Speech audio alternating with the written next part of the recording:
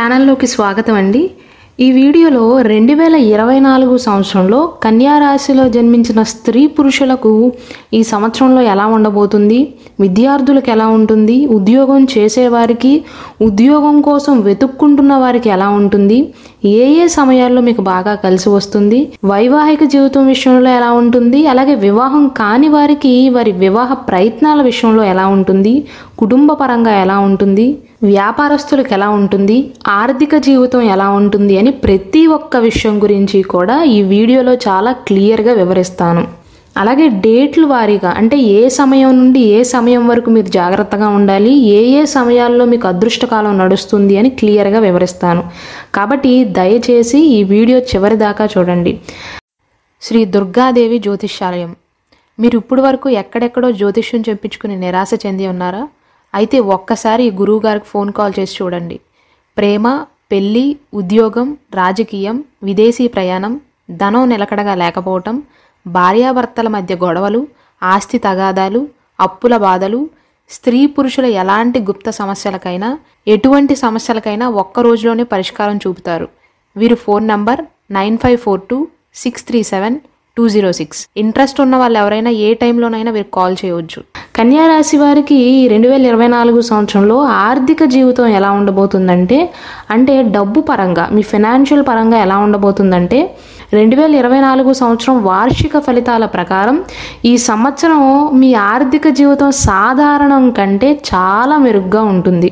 ఈ రెండు వేల ఇరవై నాలుగు సంవత్సరంలో కన్యా రాశి వారికి ఆదాయం ఐదే ఉంటుంది వ్యయం కూడా ఐదే ఉంటుంది.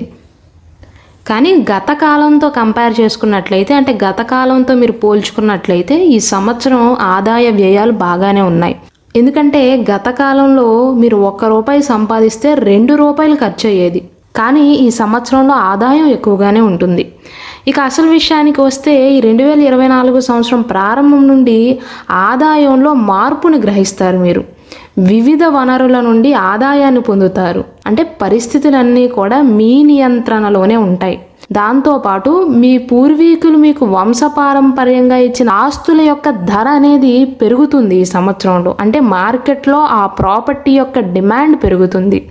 స్టాక్ మార్కెట్లో కనుక మీరు పెట్టుబడి పెట్టినట్లయితే మీకు చాలా లాభదాయకంగా ఉంటుంది. ఆగస్ట్ మరియు సెప్టెంబర్ మాసాలలో ఈ రెండు మాసాలలో మాత్రం కన్యా రాశి వారు డబ్బు నష్టపోయే సూచనలు కనబడుతున్నాయి. అదే సమయంలో మోసపోవటంతో పాటు మీకు ఖర్చులు కూడా పెరిగే అవకాశం అవకాశం ఉంది. కాబట్టి ఆర్థిక పరంగా చూసుకున్నట్లయితే ఆగస్టు మాసంలోనూ అలాగే సెప్టెంబర్ మాసంలో ఈ రెండు మాసాలలో కొంచెం జాగ్రత్తగా ఉండాలి. అలాగే ఈ రెండు మాసాలలో పిల్లల చదువులకు వారి యొక్క అవసరాలు తీర్చడానికి డబ్బు చాలా ఎక్కువగా వెచ్చిస్తారు. అంటే ఎక్కువగా ఖర్చు చేస్తారు. అలాగే ఈ సమయంలో కొత్త వాహనాన్ని కొనే అవకాశాలు కూడా ఉన్నాయి.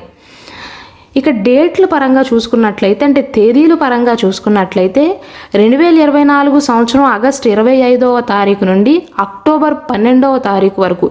ఈ మధ్య కాలంలో ఆర్థిక లాభాల పరంగా చాలా అనుకూలమైనటువంటి సమయం.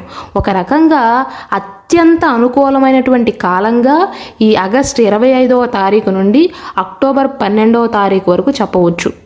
కానీ ఇక్కడ మీరు గమనించవలసింది ఏంటంటే ఆగస్టు ఒకటో తారీఖు నుండి ఇరవై నాలుగవ తారీఖు వరకు ఆర్థిక పరంగా కాస్త ఇబ్బందికరంగా ఉంటుంది.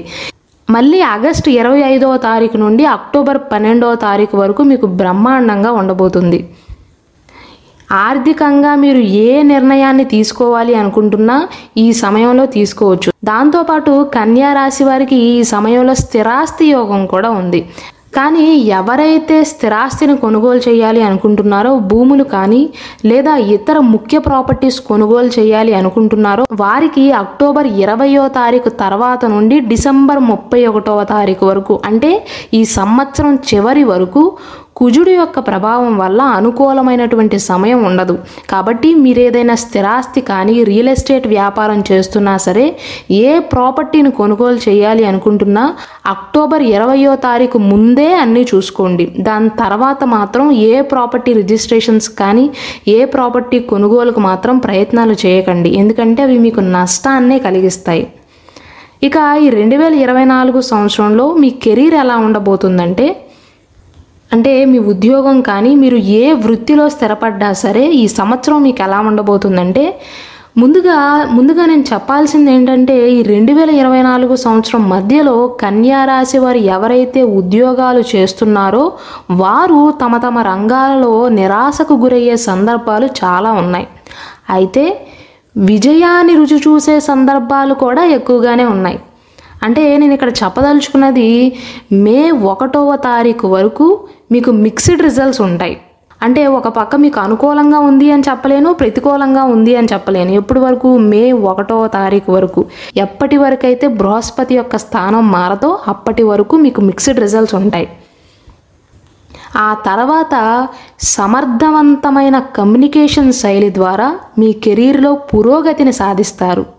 మీరు ఏ వృత్తిని ఎంచుకున్నా ఏ వృత్తిలో పనిచేస్తున్నా సరే మీ వృత్తిపరమైన రంగాలలో మంచి ఫలితాలను సాధిస్తారు. మీరు పనిచేస్తున్న కంపెనీలలో మంచి ప్రశంసలు దక్కుతాయి. ప్రమోషన్లు పొందుతారు ఇంక్రిమెంట్లు పొందుతారు. మీ జీతం పెరిగే బలమైన అవకాశాలు కూడా ఉన్నాయి. మరోవైపు వ్యాపారం ఎవరైతే చేస్తున్నారో వ్యాపార రంగంతో ఎవరికైతే సంబంధం ఉందో వారి వ్యాపారం పెరుగుతుంది. అంటే వ్యాపారం విస్తరించే అవకాశాలు ఉన్నాయి. ఆర్థిక లాభం చేకూరుతుంది. అయితే కన్యారాశిలో జన్మించిన వ్యాపారస్తులు ఈ సంవత్సరంలో గుర్తుంచుకోవాల్సింది ఏంటంటే మీ ప్రత్యర్థులను తొక్కేసి ఎదగాలి అనే ప్రయత్నాలు మాత్రం చేయకండి. పోటీ స్వభావం ఉండాలి ఉండకూడదు అనట్లేదు. కానీ కేవలం మీ పనిపై మాత్రమే దృష్టి పెట్టండి. వారికంటే నేను ఎదగాలి అనుకోండే తప్ప వారిని తొక్కేసి నేను ఎదగాలి అనుకోవద్దు. అలాగే ఉద్యోగస్తులు కూడా ఈ రెండు వేల ఇరవై నాలుగు సంవత్సరంలో మీ కార్యాలయంలో జరిగే అనవసరమైన విషయాల గురించి పట్టించుకోకుండా మీ పనేదో మీరు చూసుకోండి. ఎటువంటి వివాదాల్లోనూ భాగం కావద్దు. మీ పనేదో మీరు చూసుకుని వెళ్ళండి. పోయిన సంవత్సరం లాగా ఒకంత సంపాదించి పదింతలు ఖర్చు పెట్టే పరిస్థితులు అయితే ఈ సంవత్సరంలో ఉండవు. అది మాత్రం మీకు సంతోషకరమైన వార్త. బుధుడు మీ వృత్తి జీవితాన్ని అలాగే మీ లగ్నాన్ని నియంత్రించే గ్రహం. కాబట్టి బుధుడు తిరోగమన సంచారం చేస్తున్నప్పుడు కన్యారాశి వారికి బుధుడు బలహీనంగా ఉన్నప్పుడు ఆ సమయంలో వృత్తిపరమైన జీవితం పట్ల అలాగే ఆరోగ్యం పట్ల కూడా చాలా శ్రద్ధ తీసుకోవాలి. ఎందుకంటే ఈ సంవత్సరంలో బుధగ్రహం వల్ల మీ ఆరోగ్యం క్షీణించటం ఆ ప్రభావం అనేది మీ వృత్తికి ఆటంకాన్ని కలిగిస్తుంది. అంటే మీ ఆరోగ్యపరమైన పరిస్థితులు మీ వృత్తిపైన ప్రభావం చూపుతాయి. ఉద్యోగ వ్యాపారాల విషయంలో కూడా మీరు జాగ్రత్తగా ఉండవలసిన సమయాలు ఏంటంటే రెండు వేల ఇరవై నాలుగు సంవత్సరం ఏప్రిల్ రెండవ తారీఖు నుండి ఇరవై ఐదవ తారీఖు వరకు. అంటే రెండు వేల ఇరవై నాలుగు సంవత్సరం ఏప్రిల్ రెండు నుండి రెండు వేల ఇరవై నాలుగు సంవత్సరం ఏప్రిల్ ఇరవై ఐదవ తారీఖు వరకు. ఈ ఇరవై మూడు రోజులు కూడా మీరు చాలా జాగ్రత్తగా ఉండాలి ఆరోగ్యపరంగా. కేవలం మీ ఆరోగ్య పరిస్థితులు మాత్రమే ఈ సమయంలో మీ వృత్తి వ్యాపారాలను ప్రభావితం చేస్తాయి.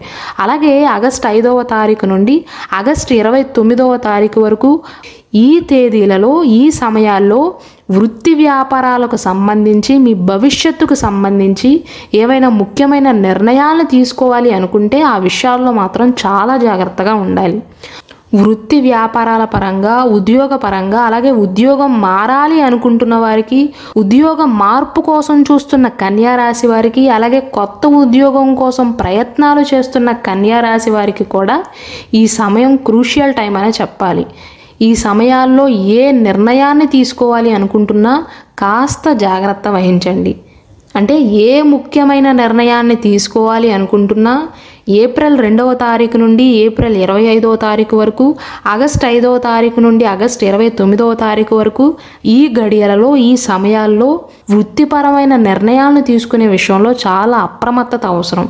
ఎందుకంటే కన్యా రాశి వారి సమయంలో మీరు తీసుకునే నిర్ణయాల వల్లే మీరే నష్టపోయే అవకాశాలు ఉంటాయి. కాబట్టి జాగ్రత్తగా ఉండండి.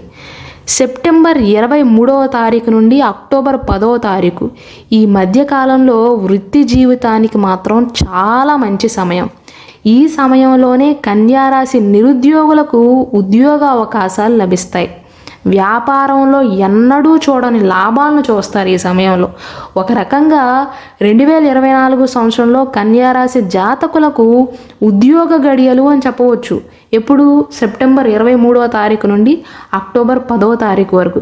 ఇవి కేవలం పదిహేడు రోజులు అయినప్పటికీ కూడా ఈ సమయంలో కన్యా రాశి వారికి అదృష్టం వరిస్తుంది. ఎందుకంటే ఈ సమయంలో మీ రాశికి అధిపతి అయినటువంటి బుధుడు ఉచ్చస్థితిలో ఉంటాడు. అయితే పార్ట్నర్షిప్ వ్యాపారాలు ఎవరైతే చేస్తున్నారో వారికి ఈ రెండు వేల ఇరవై నాలుగు సంవత్సరంలో మీ భాగస్వామ్యంలో విభేదాలు అపార్థాలు ఎదుర్కొంటారు. మే ఒకటో తారీఖు తర్వాత ఎప్పుడైతే బృహస్పతి యొక్క సంచారం తొమ్మిదో ఇంట్లో అవుతుందో అప్పుడు కన్యారాశి వారి వ్యక్తిగత జీవితానికి సంబంధించి వ్యాపారానికి సంబంధించి ఉద్యోగానికి సంబంధించి కూడా అపార్థాలన్నీ కూడా తొలగిపోతాయి. సమస్యలన్నీ కూడా మొబ్బు వీడినట్టుగా వేడతాయి. మే ఒకటో తారీఖు ముందు అపార్థాలతో కొనసాగుతున్న పార్ట్నర్షిప్ వ్యాపారాలు మే ఒకటో తారీఖు తర్వాత అంటే మే మొదటి వారం నుండి అదృష్టం కలిసి వస్తుంది. ఇక ఈ కన్యా రాశి వారికి ముఖ్యంగా వ్యాపార జాతకం ఎలా ఉండబోతుందంటే ఈ కొత్త సంవత్సరంలో వ్యాపార రంగంలో మాత్రం మంచి లాభాలను పొందుతారు. గత కాలంతో పోలిస్తే చాలా మెరుగైనటువంటి లాభాలను అయితే పొందగలుగుతారు. అయితే వ్యాపారం కోసం ఎప్పుడూ లేనంతగా ప్రయాణాలు చేయవలసి వస్తుంది ఈ సంవత్సరంలో. కానీ ముందు చెప్పినట్లుగా భాగస్వామ్య వ్యాపారం ఎవరైతే చేస్తున్నారో వారు మాత్రం మే ఒకటో తారీఖు వరకు మీ పార్ట్నర్ మిమ్మల్ని ఎంత ఇబ్బంది పెట్టినా సరే సంయమనాన్ని వహించండి. చాలా జాగ్రత్తగా పనిచేయండి. కానీ గతంతో పోలిస్తే మాత్రం ఆదాయం మాత్రం ఎక్కువగానే ఉంటుంది. ఖర్చు తక్కువగా ఉంటుంది ఆదాయం ఎక్కువగా ఉంటుంది. వ్యాపార విషయంలోనూ అలాగే మీ వృత్తిపరమైన దృక్కోణం నుండి కనుక ఈ సంవత్సర ఫలితాలు చూసినట్లయితే అనుకూలంగానే ఉన్నాయి అని చెప్పవచ్చు. జర్నలిజంలో కానీ లేదా ఎలక్ట్రానిక్ మీడియాకు సంబంధించి ఉన్న కన్యారాశి వ్యక్తులు అంటే ఎవరైతే ఇటువంటి వృత్తులు చేస్తున్నారో వారు మాత్రం ప్రత్యేకించి రెండు వేల ఇరవై నాలుగు సంవత్సరంలో ప్రత్యేక ప్రయోజనాలను అయితే పొందగలుగుతారు. వీరికి అద్భుతంగా ఉంటుంది. అక్టోబర్ మాసం నుండి వ్యాపార విస్తరణకు ప్రయత్నాలు అయితే మీకు ఫలిస్తాయి. అయితే ఈ రెండు వేల ఇరవై నాలుగు సంవత్సరం మే ఒకటో తారీఖు వరకు చిన్న చిన్న ఇబ్బందులు వస్తూ పోతూ ఉంటాయి. కానీ మే ఒకటో తారీఖు తర్వాత పరిస్థితులన్నీ కూడా చక్కబడతాయి. ఇక కన్యారాశి వారికి రెండు వేల ఇరవై నాలుగు సంవత్సరంలో అన్నిటికంటే ముఖ్యమైన విషయం అయినటువంటి ఆరోగ్య విషయం ఎలా ఉండబోతుందంటే ఎన్ని విషయాలు మీకు అనుకూలంగా ఉన్నా ఆదాయం బాగున్నా కన్యారాశి జాతకులకు ఈ కొత్త సంవత్సరంలో ఆరోగ్యపరంగా మాత్రం కొన్ని ప్రికాషన్స్ అయితే ఖచ్చితంగా తీసుకోవాలి. ఎందుకంటే మీ ఆరోగ్యం పైన కేతువు యొక్క ప్రభావం అధికంగా ఉంటుంది ఈ సంవత్సరంలో. మీ శరీరం పొడిబారటం కానీ తరచుగా దగ్గు జలుబులు రావటం కానీ ఇతర ఆరోగ్య సమస్యలను మీరు ఖచ్చితంగా ఎదుర్కొంటారు. రెండు వేల ఇరవై నాలుగు సంవత్సరం మే ఒకటవ తారీఖు వరకు బృహస్పతి శని భగవానుడు. ఈ ద్వంద్వ సంచారం వల్ల ఆరోగ్యపరంగా మీకు అనుకూలంగా ఉండదు. ఏప్రిల్ చివరి వరకు కూడా ఆకస్మిక ఆరోగ్య సమస్యలను అయితే కన్యారాశి వారు ఎదుర్కోక తప్పదు. దాంతోపాటు ఈ షుగర్ బీపీ లాంటి దీర్ఘకాలిక అనారోగ్య సమస్యలతో ఎవరైతే బాధపడుతున్నారో వారు మాత్రం బృహస్పతి యొక్క పొజిషన్ మారేంత వరకు అంటే ఏప్రిల్ వరకు కూడా అంటే మే మొదటి వారం వరకు కూడా అదనపు జాగ్రత్తలు తప్పనిసరిగా తీసుకోవాలి. అలాగే ఒంటరిగా కూడా ఎవ్వరూ ప్రయాణాలు చేయకండి. మే ఒకటో తారీఖు వరకు. మే ఒకటో తారీఖు తర్వాత వృషభ రాశిలో బృహస్పతి యొక్క సంచారం వల్ల మీరు ఎదుర్కొంటున్న ఆరోగ్య సమస్యల నుండి ఖచ్చితంగా ఉపశమనాన్ని పొందుతారు. అంటే మీ ఆరోగ్యం కుదుట పడుతుంది. ఎప్పుడు మే ఒకటవ తారీఖు తర్వాత నుండి. అలాగే ఈ రెండు వేల ఇరవై నాలుగు సంవత్సరంలో బుధగ్రహం మీ రాశికి అధిపతి అయినటువంటి బుధుడు అనేక సార్లు తిరోగమనంలో ఉంటాడు.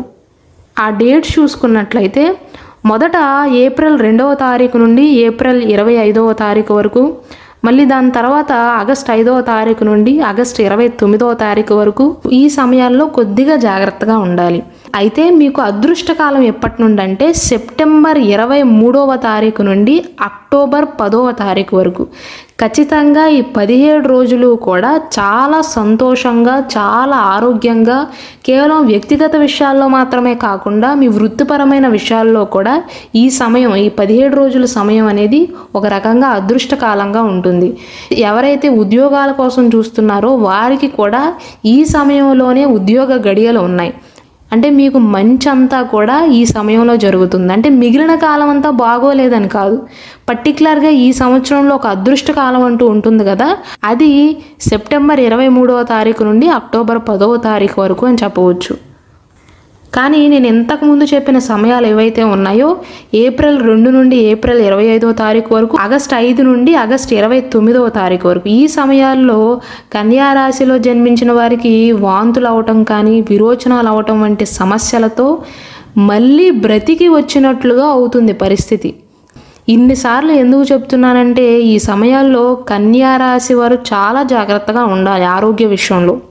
మీ శరీరంలో ఈ సమయంలో ఏ చిన్న సమస్య కనిపించినా అస్సలు నిర్లక్ష్యం చేయవద్దు. వెంటనే వైద్యుని సంప్రదించి మీకు ఉన్న సమస్యకు సంబంధించిన ట్రీట్మెంట్ని మొదలు పెట్టండి లేకపోతే అది చాలా నష్టాన్ని కలిగిస్తుంది. గోరుతో పోయేదాన్ని గొడ్డలి దాకా తెచ్చుకోవద్దు. సెప్టెంబర్ ఇరవై మూడు నుండి అక్టోబర్ పదో తారీఖు వరకు అయితే ఈ పదిహేడు రోజులు కూడా మీకు చాలా అనుకూలంగా ఉంటుంది. ఇవి కన్యారాశిలో జన్మించిన వారి రెండు వేల ఇరవై నాలుగు వార్షిక ఫలితాలు. అలాగే మన ఛానల్లో ఈ రెండు వేల ఇరవై నాలుగు సంవత్సరంలో కన్యారాశి వారికి ఆదాయం వ్యయం రాజపూజ్యం అవమానం ఎంత ఉంది అలాగే ఇతర అంశాల గురించి ఏ ఏ రోజులు మీకు బాగా కలిసి వస్తాయి ఏ ఏ నెలలు మీకు అనుకూలంగా ఉంటాయి సంతాన ప్రయత్నాల విషయంలో మీకు ఎలా ఉంటుంది అని సపరేట్ వీడియో చేశాను. దయచేసి దాన్ని కూడా వీక్షించండి.